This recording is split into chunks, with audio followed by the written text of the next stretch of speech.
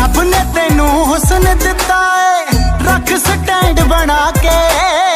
ਨਿਤ ਹੈਪੀ ਜੇ ਆਸ਼ਿਕ ਦਾ ਕਿਉਂ ਤੁਰ ਜੇ ਪੈਡ ਵਜਾ ਕੇ।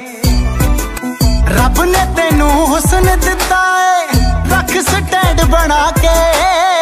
ਨਿਤ ਹੈਪੀ ਜੇ ਆਸ਼ਿਕ ਦਾ ਕਿਉਂ ਤੁਰ ਜੇ ਬੈਂਡ ਵਜਾ ਕੇ। ਬਣ ਗਈ ਮੈਥ ਦਾ ਮੈਥੜ ਨੀ। ਮੈਥ ਦਾ ਮੈਥੜ ਰਾਏਕੋਟ ਦੇ